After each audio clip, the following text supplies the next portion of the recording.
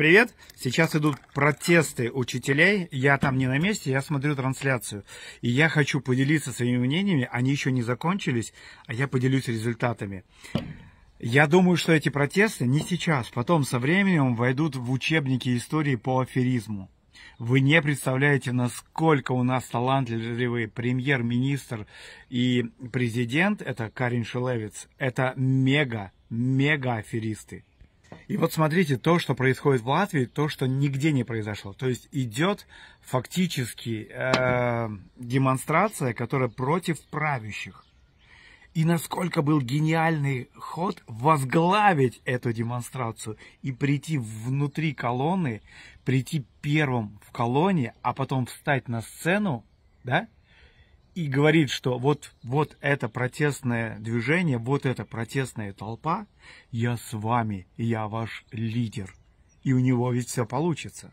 Это ведь из классических учебников, если ты не сможешь а, справиться с протестами, то возглавь их. Это ведь гениально. Я нигде такого не видел. Вот чувак с гарвардским образованием. И образование вот у него, согласитесь, очень круто. Очень прям то, что доктор прописал. Вот, и это э, в его карьере не впервые. Смотрите, он, по сути до, дела, должен сидеть в тюрьме, а вместо того, чтобы сидеть в тюрьме, он сел в кресло премьер-министра.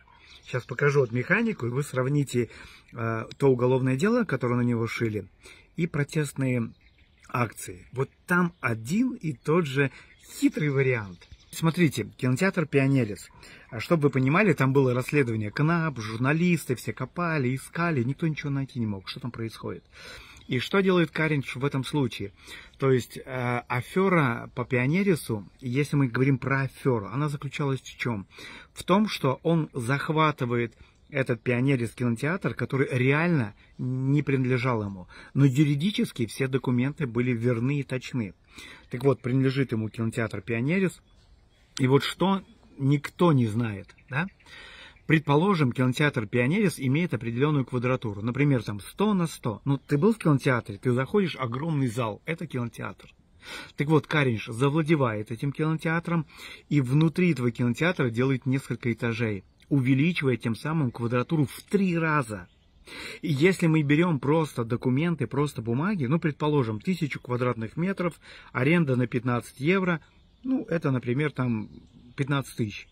А по факту человек каждый месяц зарабатывал там не 15, а в три раза больше. Я условно говорю, не придирайтесь к цифрам.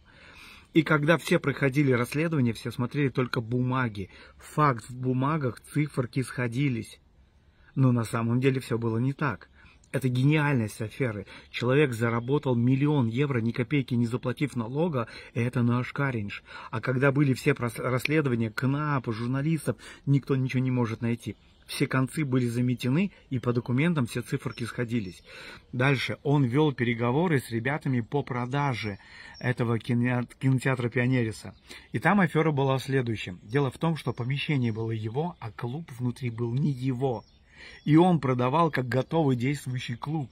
И люди, которые купили этот клуб, на утро узнали, что они купили только четыре стенки. А ребята, чей был реальный клуб, просто вывезли оборот, ну, аппаратуру и уехали. Ты представляешь, он дважды кинул. Сначала незаконно завладел, потом незаконно извлек доход в миллионы.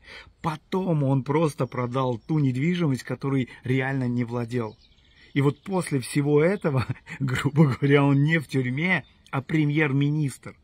Ты представляешь, насколько это гениальный ум? Вот иметь такого премьер-министра в Латвии – это великое благо. При одном условии, если бы он работал на эту страну, а не на свой личный кошелек.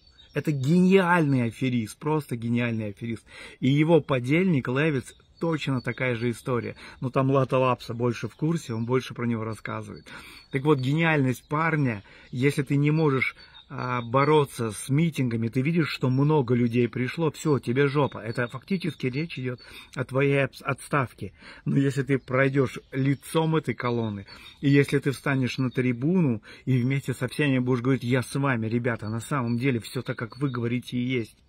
И никто не задаст ведь в этот момент вопрос, что фактически мы внесли в закон о том, что зарплата учителей будет как у мусорщиков в Германии, и сами этот закон не соблюли. И ничего, ничего этому человеку не будет.